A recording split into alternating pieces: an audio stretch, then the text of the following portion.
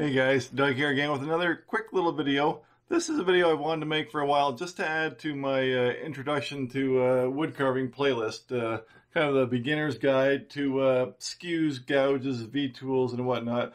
Uh, most of my tutorials in the past have been knife only, and that may or may not change. I'm uh, I'm not a purist with one knife only, and you've seen in some of my latest demonstration videos where I have picked up different tools and told you what I'm using, but I just want to go over real quickly so that uh, you don't get caught buying sets and multiples of tools that you're not going to use. I want to go through a whole bunch of these tools and uh, maybe just uh, maybe leave you with maybe four or five tools that would really help supplement your carving with your knife. All right.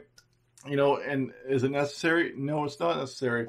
But I just took a couple examples here. Like I can take your knife only Santa and and make your realistic stand-up much more easy with supplemental tools. All right. So this is not a, this is what you have to get. This is just a, this is what's out there. And this is why I would choose just to go down to, you know, four or five little extra tools. And remember, we're talking, uh, you know, like character carving. We're not going to talk about the big uh, wood spirits or tree carving where you would you'd want the the big uh, full size tools. I still want to keep it down to a smaller size and um, palm tools really. Palm tools meaning like uh, those that obviously will fit in your palm. All right, smaller tools. You'll see me using the uh, mid-sized tools. I don't recommend that. I'm a, a kind of a weirdo maybe, but uh, I kind of grew used to these mid-sized tools, but I also got the bigger bigger paws, right?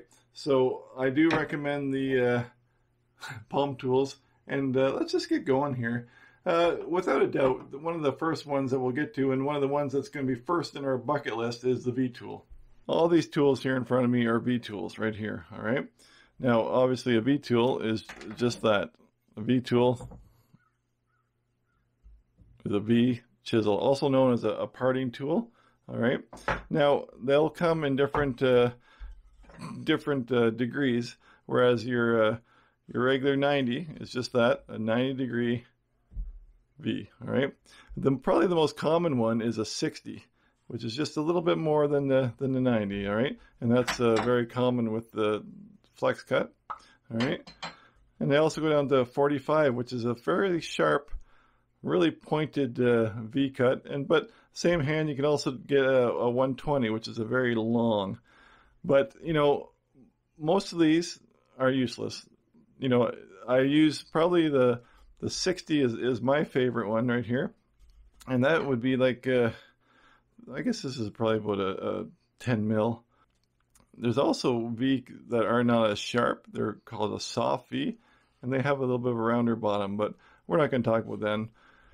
If we're going to pick one of these out of all of these for character carving, I would stick with the regular 60 degree and like I said, 10 mil. You can go like uh, this is a a V tool as well. You can get down to micro tools all the way up to jumbo tools, all right? And they're all V tools.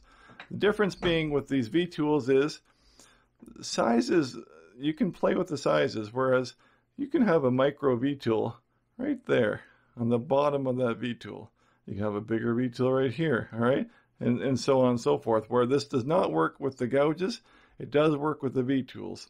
So get the largest one that you're comfortable with because you can just use just the point for a smaller V or the deeper you go until you reach the outer wall top edge of the V. All right. So I'm going to take this one right here and I'm going to put that in our keeper list and uh, that's one tool. Over here we got a pile of uh, gouges and uh, this is where the numbers start. So this is one to three I've got here. Actually one to five, let's say. And one to five, one being flat, perfectly straight, flat. All right, more of a chisel. Okay, and then two obviously is just a. I'll use the big ones just for demonstration, but you can just see a very slight, slight curve in it. Five, a little bit more. These big ones are nice so you can see, but uh, very shallow. And of course the three, all right?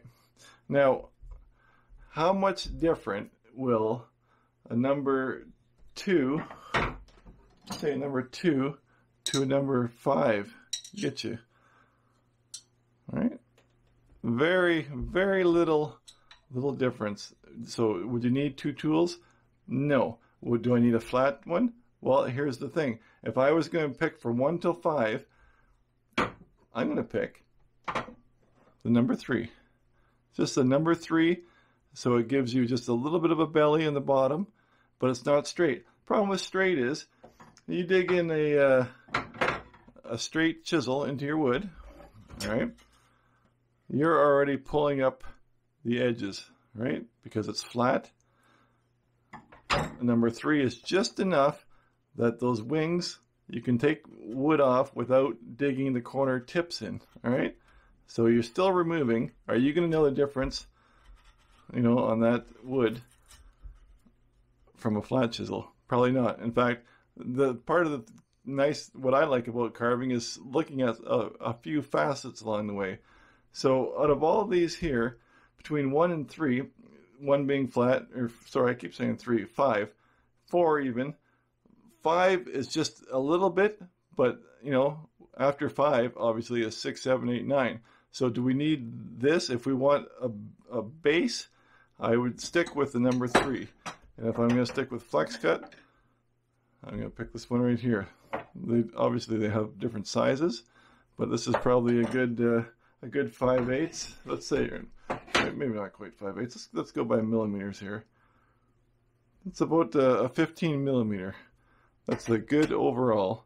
So I am going to keep a number three, just for getting you know you can get him up in between arms. You can remove wood in hard to reach areas. So we are going to keep a number three, and that's going to go in our pile. You know, in this pile here, we've got six, seven, eight, nine, and like I said, they just keep getting a little bit more. Let's just uh, show you, for example, if this is the a seven, all right. I'll show you the big one, the nine.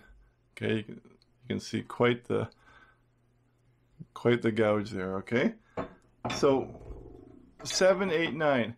Can you really tell the difference if you're carving between the seven and the eight? very i mean the width is not what we're talking about but the the depth the the depth of the gouge is very hard to tell. Even uh, that's eight nine. And these come in handy all the time and i like to use a number nine to dig in the eye sockets. And again it's the width that you're more concerned about now whereas you can have a number nine again probably a dockyard gouge is a number nine up to the big bruiser, okay? But middle of the road is, uh, this is a, a file tool. And again, we're probably talking about that 15 mil area, all right? So do we have a, uh, if we stuck with a Flexcut, I would say that is exactly the same, okay? So Flexcut make, this is a number nine, and uh, that's the same thing. So out of seven, eight, or nine, can I hard like number six to number nine? And I know the widths are different. It's so minuscule the difference of the depth of the gouge that I would I would go for the nine just for the uh, the depth. All right, I'm putting that in the kit. Number 11. This is one of my favorite tools as well. Number 11 is also called a veiner. It has a uh, very deep gouge, but also uh, very high walls on the side. This is really good for you want to do a little bit softer hair or just roughing out uh, some details without getting a real sharp point down, but it's enough to take it out, and uh, I love them. So again, here's a little uh, little Flexcut, number 11. You can do this for adding hair details, whiskers, outlining lines, without uh, digging in too deep. So I am going to uh, have to stick with, if I keep them all Flexcut, say, I'm going to stick with the number 11 here as well.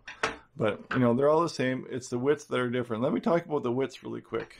Remember we were talking about the, uh, the V-tool, how the V-tool size doesn't matter because you that will translate a small V-tool all the way up to a bigger V-tool, right? In graduations, as long as you stay below you've got all these sizes of V-tools.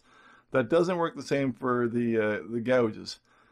You know, if you have the big Number 11, well, the smaller one is just going to be a little guy, right? So that base translates with the, the top height, okay?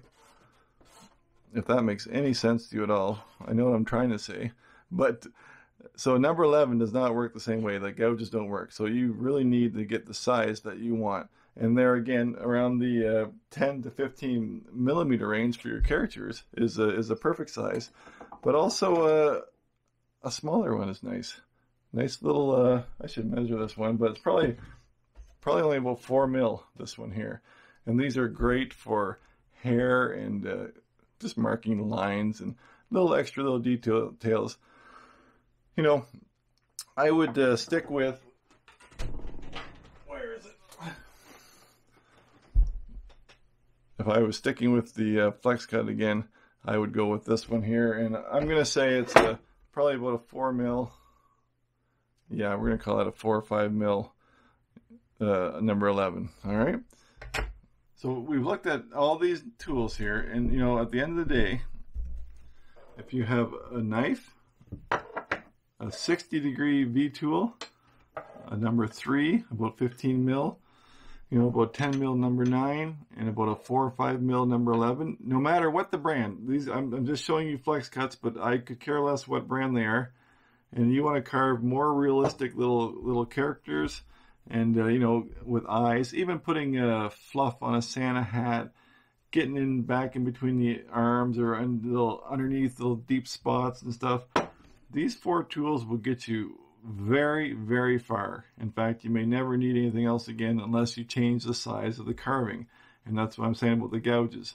The gouges that you pick should be suited to what you're carving. So if you're carving four to six inch men, this is exactly perfect for you and you shouldn't need anything else. All right. If you're going to carve 30 inch wood spirits and trees, then obviously you're going to the big boys, but that's a totally different thing. But just to uh, take any confusion out about all the sets that are out there, you can do fine with just these five tools. Now, I'm well aware that this was such a quick, superficial brush over of all these tools, but it's the it's really the meat and potatoes right here. We don't talk about the skews. Skews are basically a knife. We don't talk about different shapes of uh, bends.